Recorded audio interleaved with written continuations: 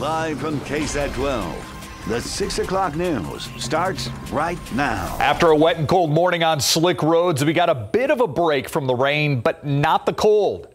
And don't be fooled by the drying out. We are expecting even more rain tonight and near freezing or freezing temperatures in some spots. Adam Caskey here with a first look at your forecast. Adam.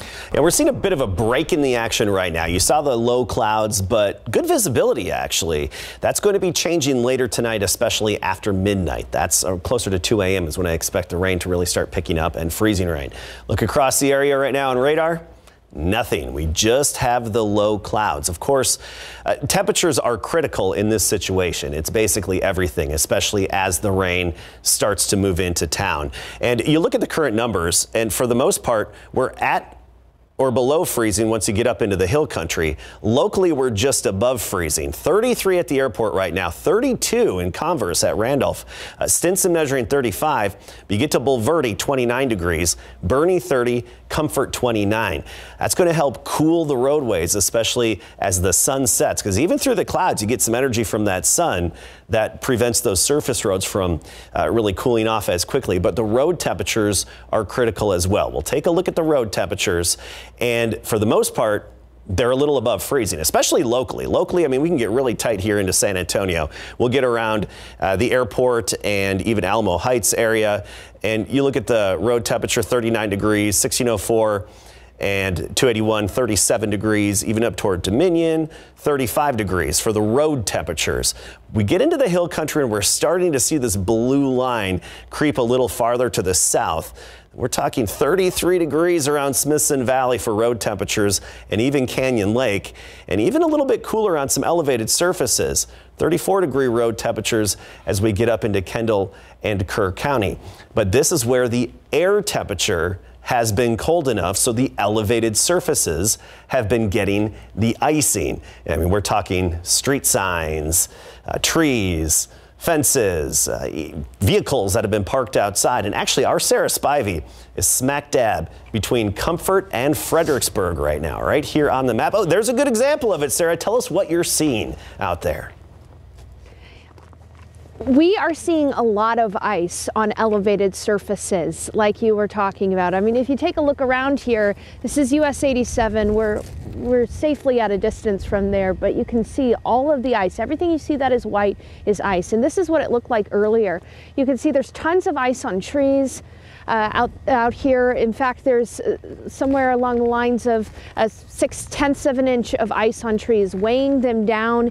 And unfortunately, that means that we're going to be seeing those trees weighed down, power lines weighed down, which means power outages. Earlier today, there were already power outages reported out in Gillespie County. But here's the good news. TxDOT has been out here. In fact, we ran into them uh, going, treating the roads here, treating US 87. Uh, and we didn't have any issues coming up here on the roads, which is good news, but that is unfortunately going to change tomorrow. Again, we don't really anticipate any additional freezing rain until after midnight tonight. So unfortunately, the situation here is just going to get worse though tomorrow during the day. Now back here uh, in the hill country, uh, and across parts of, of North San Antonio, I want to show you the proper way how to measure ice. Take a look at this fence right here. This is a lot of ice along this fence. Now the way to measure ice is you've got to add both sides and divide it by two. So take a look at this. So there's nothing on this side, so we're adding zero on this side, all right? But on, on the uh, left side of this, it's about 1.2 inches.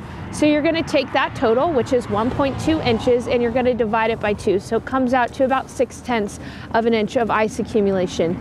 That's how you properly measure ice. I want you to snap a picture of anything that you see at your place and I want you to post it on the KSAT Connect feature on our weather app because eyes and ears on the ground is the best way to verify a forecast, helps us know what's going on in your neighborhood. You can get to that KSAT Connect feature through our weather app, your Weather Authority app. It's amazing. Please consider downloading it because not only can you post pictures, but you also get notifications right to your phone. We go live right to your phone to give you a forecast that is tailored by meteorologists and not computer generated. So consider downloading that KSAT Weather Authority app. We're going to be here in the Hill Country throughout the day tomorrow. The next time you'll see me is on GMSA. We'll be out here keeping track of things as conditions will worsen tomorrow. Reporting between Comfort and Fredericksburg, I'm meteorologist Sarah Spivey. Back to you. All right, Sarah, you and photographer Billy out there, stay safe, get somewhere warm. All right, let's talk about what happened in Boerne earlier today. A police officer left with some bumps and bruises after a crash on I-10 this morning. City officials say that officer was sitting in this patrol unit when another vehicle slammed into it after that driver lost control on some ice. The officer was helping out another driver at the time. The crash did some serious damage, as you can see, to both vehicles. The officer was taken to the emergency room but has since been released. And up the highway from Boerne along I-10 in Kerr County and beyond, the roads are even more treacherous. An example of that, this accident along I-10 involving 18, several 18 wheelers. The one near the Kimble and Kerr County lines in the westbound lanes. No word on whether anyone was seriously injured. Traffic was backed up for quite a while while, while crews worked on the scene. And slick roads taking out this car hauler a little closer to Kerrville, sending it sliding into a median where it flipped on its side. Emergency personnel spending their morning responding to numerous accidents along I-10, posting updates and pictures of crash scenes to illustrate slick and dangerous just how it was out there. And here in San Antonio, first responders as well with a busy morning responding to several crashes on the northeast side thanks to ice on elevated roads. One of the first roads shut down was Judson Road over Lookout Drive. Not far from there, though, another accident along Loop 1604 near Rolling Oaks Mall. That one involved as many as 10 cars and trucks. Another road shut down after a crash because ice on a bridge at North Weidner and O'Connor Road. Let's check out the road conditions right now. And I believe this is along I-10 and Kerrville. I think it's mile marker 551. And thankfully, there's not a lot of people on the roads. It's really kind of hard to tell what the road conditions are right now, but they can be deceptive, especially as we start getting towards that 32 degrees. And if we're at 32 right now in San Antonio, it's going to be colder than that in Kerrville. Yeah, just a few cars out there. That is a good thing. And as we've been hearing, if you don't have to go anywhere, best to stay home. Icy roads, of course, this morning's big concern, but they could be tomorrow's as well. We are looking at cold and wet conditions again overnight. Garrett Brnger talked with TxDOT and County Public Works about what they're doing to prepare. Garrett joins us live from the north side. Garrett. Yeah, the county actually just finished de-icing this bridge right behind me on Evans Road. This is an area which has a, it's a nice long span of bridge. You can actually see the tracks of the de-icing agent that they put down in each of the four lanes. They drove off right before our live shot, unfortunately. But these guys are gonna be around. They're working around the clock.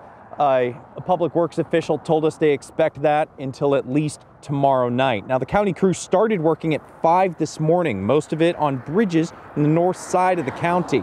County using both small gravel and a new de-icing agent that's using on a wide scale for the first time. That's actually a mix of brine and beet juice, which according to the manufacturer makes it less corrosive and reduces the salt application rate. At this point, they're just trying to stay ahead of the ice. That's what the crews are doing right now is they're going out and pre-treating areas that we know are probably going to ice over again. So we have crews uh, out in the field and crews here on standby that are ready with barricades or signage that needs to go out. That way we can close off the roads and keep everybody safe. Now, TxDOT has had crews out since yesterday treating the highways. Today, they're focusing their efforts on the highways north of the airport and not only the bridges and overpass, though those do get special attention as those do freeze first. Spokeswoman told us earlier today they plan to keep going until the temperatures are above freezing and there's no chance of rain. Now, TxDOT had also put out some tips for driving in wintry weather and the icy conditions like that. If you're not used to it, I am I'm from up north, can vouch for this. Get, leave some extra space between the car in front of you. Also, don't rely on your cruise control. You really want to be able to react to the conditions on the road. And it's not the getting going that's going to be the trouble, it's the stopping.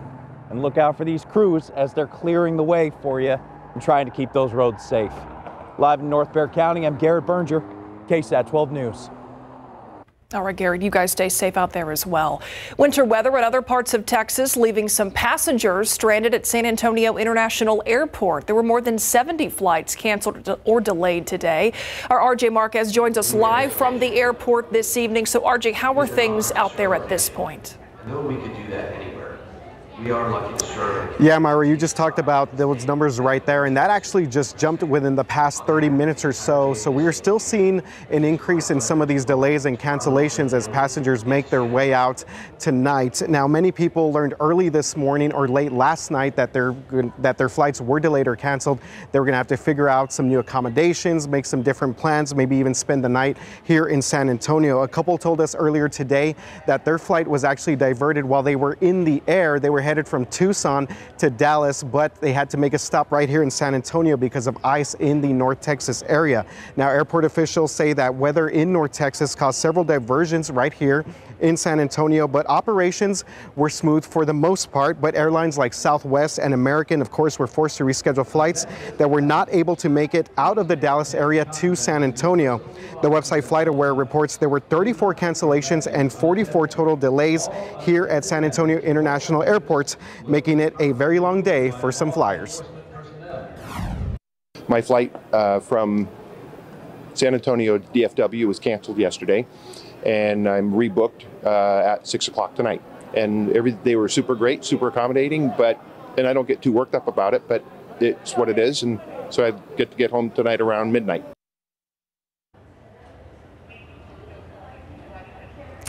And we just checked, and that gentleman's flight right there, right there has been actually delayed by another few hours. So it's again going to be a very, very long trip back home for him.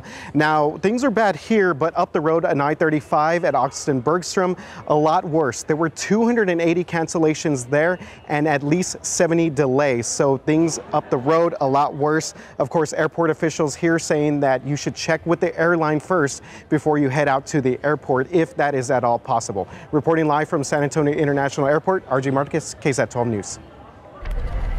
Thank you, RJ. Now, schools of all levels planning for some nasty weather tomorrow morning with some delays and outright cancellations. Some have already made the announcement. You can scan the QR code on the screen. It's going to take you to a living list on our website. We're running a ticker with that information as well as the bottom of the screen, as you see. Both are being updated as new closures and delays come in. San Antonio fire investigators are looking into the cause of an early morning fire at a vacant home on the west side. Fire crews responded to the 3400 block of El Paso a little after 2 when they found flames on the front and the inside of a home there. It took them about 10 minutes or so to get this fire under control and no one was hurt. Fire crews told us this fire was likely started by people trying to stay warm. Now, city warming shelters are not open right now. They're not open tonight. There are still shelters open, though, for San Antonio's unsheltered population. Lee Waldman is live at the church under the bridge. Lee, hot meals just started being served, and I imagine that's probably a very popular item tonight. Very, very popular item. Uh, people are getting those hot meals just behind me here. But just before we came to check in with y'all, someone was actually being taken out on a stretcher. We're told that their feet were turning purple due to the exposure. It's so cold out here for people who are who are unsheltered during these cold temperatures. Now, 6 to 7 is when they're serving those hot meals. At 7 o'clock, this place is going to open up for a warm place for people to stay here at the church under the bridge. Now, for people who don't want to go to a shelter tonight, Valerie Salas with Christian Assistance Ministries, or CAM, is working to deliver blankets and hand warmers. Her team is also transporting people back and forth to shelters if they can't get there on their own. She says they work closely with San Antonio police downtown, making sure that officers have warming supplies to hand out as well. That's a huge, vital relationship we have.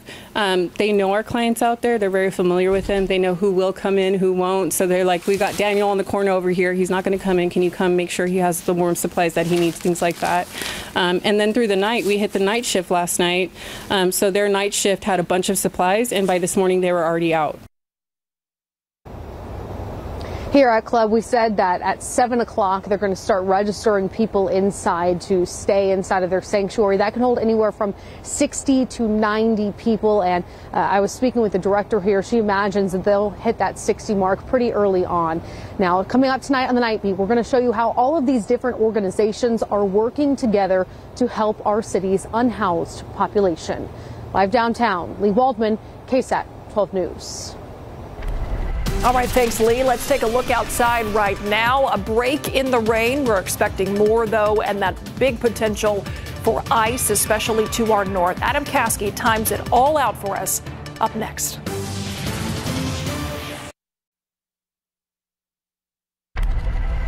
Deteriorating weather and potentially dangerous conditions on the roads tonight on the night beat. We are continuing to cover all of that. The situation some drivers could face and what you can do if you find yourself stranded in this weather. It's on the night beat at 10. Yeah, roads really are the big concern with all of this. So let's get to Adam Caskey. And Adam, it sounds like, is it overnight tonight, really tomorrow morning? That's the most significant problem that we could potentially deal with? Yeah, especially while we're sleeping tonight. I think by 2 a.m. is when things are really going to start picking up. So I plan to still be here in the studio ready to hop on air and especially on our KSAT Weather Authority app when necessary to keep you updated. But the heaviest rain will likely pick back up again by 2 a.m. So if you need to run to the store or do something right now, it's fine right now. It's going to be for several more hours. It's later on tonight and tomorrow morning. We'll have the issues icing, especially along and north of 410. And the highest impact will be in the hill country where power outages are likely. Speaking of outages, we've already seen some out there, not just in the hill country, but other parts of Texas. Uh, for example, you get to Smith County here. This is home to Tyler, Texas. 10,000 outages reported. Neighboring county to the west, 7,500 power outages reported. That's off to the northeast of us. But even Travis, Travis County and Gillespie counties have outages as well. You get around Austin, 300 outages. Gillespie County right now, 200 power outages at the moment. Uh, that's down from a higher amount, I believe 400 earlier today. But you look at the radar, it's very, very quiet. Not a lot to talk about right now. We have a little break in the action at the moment. That's, however, going to be changing in the hours ahead. Speaking of changing, let's talk about how much freezing rain we'll see and when here. I'm going to get rid of this title bar. And notice over the next several hours, 6, 7, 8, 9, 10 o'clock, you don't see the numbers really rising or populating. But after 2 a.m., that's when we should start adding to these freezing rain accumulations. And keep in mind, this is just one high resolution computer model that we have in house. And I do think it under, uh, underestimates the accumulation uh, just a little bit, but it does show the focus being up into the hill country. And of course, this will keep updating uh, throughout the evening. And I'll bring it to you uh, the latest on the night beat at 10. So why the freezing rain? That's another question. You know, what's the deal? It's raining and then it turns into ice when it hits the ground. Well, this is what we're dealing with. Up above us, we're talking about five, 6,000 feet above us, we have this really warm air that's actually 50 degrees. It's 50 degrees above us. But from about 2,000 feet all the way down to the ground, so ground to 2,000 feet, it's below freezing in spots, and it will be. If it's not now, it will be in many locations overnight tonight. So that liquid rain, it's warm, it's 50 degrees, falls through this really shallow layer of cold air, too shallow to allow it to turn into an ice pellet, but once it hits the ground or an elevated surface, an exposed surface, boom, turns right into ice and becomes slick. So that's what we're dealing with out there right now. Uh, you know what? I tell you what, next half hour, we'll get into the explanation of the bridges and overpasses and the kind of impact uh, that has and why they freeze first. But right now, let's move on with the forecast here. Let's talk about the impacts. And notice north of Highway 90 is where we'll see most of the activity, but the major impact hill country up to three quarters of an inch of ice accumulation and that's going to lead to more power outages, highly likely to. Travel not recommended. That includes just north of Boerne, Sisterdale, Canyon Lake area, Smithson Valley, right on the edge of that, Fredericksburg, Harper, Kerrville. Go farther to the south, including Fair Oaks Ranch, Bulverde, Garden Ridge, New Braunfels, Green, Stone Oak. Medina Lake. So this is north of 1604 all the way up to about the Guadalupe River. That's where we'll have the moderate impact. Icy elevated surfaces, exposed surfaces, fences, some tree branches, vehicles that are parked out overnight, and some surface roads could become slick as well.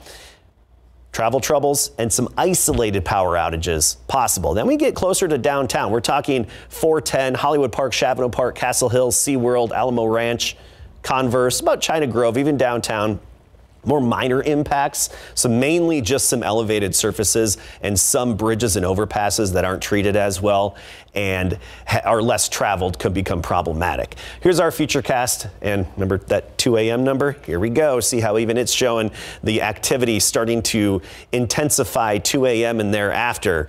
And that could lead to some of this ice piling up pretty quickly. So this purple area indicating where we will likely have the freezing rain. Notice that's northern Bexar County and especially into the hill country, but some pockets of it here and there on the elevated surfaces, even around downtown area. This all comes to an end pretty gradually by tomorrow evening, and then it's done by Thursday. We're going to talk the importance of the temperature and the dew point and the difference between them coming up next half hour. Tomorrow, 32 in the morning. 34 for the high temperature, freezing rain turning to just rain by about 10 a.m. And then Thursday, we start to clear out. We're at 47 degrees. The threat of freezing rain ends by midday tomorrow for us and uh, tomorrow evening for the hill country. Then back to sunny and 60 by Friday and this weekend.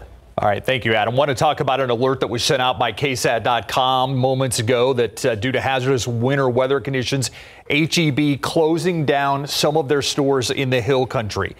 Closing at 9 o'clock tonight and reopening at 8 a.m. Wednesday, Kerrville, all stores, Fredericksburg, Boerne, and Bulverde. The following stores in Central Texas are closing at 6 p.m., so they've already closed tonight. They're going to reopen at 8 a.m. tomorrow morning. That's Buda, Kyle Plus, San Marcos All Stores, and Wimberley. Those are the HEB stores that are closing early tonight. And we got a rundown of all of that information on KSAT.com. Meantime, SAFC opened up training camp and we were there. Sports is coming up next. Despite the cold temperatures, San Antonio FC still opened up training camp today and hit the pitch for practice. I would expect nothing less from the Mentality Monsters. Today was the first on-field training for the reigning USL Championship title holders. They topped Louisville FC back in November 3-1 to win their first ever USL Championship. So how did the champs feel about opening camp in the cold? This is my type of weather. This is Pennsylvania weather right here, uh, not classic San Antonio weather. So uh, I'm thriving in it right now, and Probably so is my dog. It is what it is. You just got to roll with the punches, and that's being a mentality monster. You got to take take what life gives you and, and make the best out of it. And I think that's what we did today. Training camp will run until the regular season begins on March 11th. Spurs rookie forward Jeremy Sochan was selected to the 2023 Rising Stars roster today. The 19-year-old is averaging 10.1 points, 4.9 rebounds, and 2.5 assists in 26.1 minutes in 44 games while making 41 starts. He's currently the first Spurs rookie since Tim Duncan in 1997-98 to average at least 10 points per game. The Rising Stars contest will be held Friday, February 17th in Salt Lake City as part of NBA All-Star Weekend. The dynamic duo of Ashton and Aaron DuBose are taking their skills to West Texas A&M to play college football for the Buffaloes. The twins were star players at Brennan High School, helping the Bears go 12 and 2 overall this season and advancing to the Class 6A Division 1 regional finals. Ashton plays quarterback and Aaron wide receiver. Now they'll get to play football at the next level just like they did in high school. It was just because like we wanted we always wanted to go to college with each other since we was little and we got the opportunity to play at West Texas, and we wanted to go together, so that's what we did. It's special because normally we'll separate and go our different ways, but now we want to stick together because at least we'll have somebody whenever we go off to college. The twins plan to sign their national letter of intent tomorrow at home since school is closed. Pro football coverage, powered by Davis Law Firm. The Houston Texans have hired San Francisco 49ers defensive coordinator DeMeco Ryans as their next head coach. The team announced at 4:15 this afternoon. They agreed to a reported six-year contract. Ryans first met with the Texans on January 20th, and then again on Tuesday following the Niners' loss to the Eagles in the NFC Championship game. Ryans, a former Texans standout linebacker, will be the fourth coach in Houston in four years, and Houston becomes the first NFL team to hire three straight black head coaches. And ESPN is reporting that the Broncos have agreed to a trade with the Saints to hire Sean Payton as their next head coach because Payton had signed an extension in 2019 that was set to run through the 2024 season. The Saints and Broncos had to negotiate compensation for Denver to sign Payton as their head coach, and I wonder if Mike McCarthy up in Dallas is breathing a sigh of relief. That's exactly what I was thinking, Larry. I was Yes. like, hmm, I know Hmm. one guy who's probably happy with that. news. Yes. Yeah. Thanks, Larry. Our KSAT Q&A is up next. It is cold out there, and a lot of people wondering about school closures, road closures. What are the road conditions? We're joined by San Antonio Mayor Ron Nirenberg on this Tuesday. Mr. Mayor, thank you for joining us. I see you're warm at your house. I'm very happy to see that. Talk about the road conditions and how closely you're monitoring what's happening on our roadways right now and the areas of concern for you.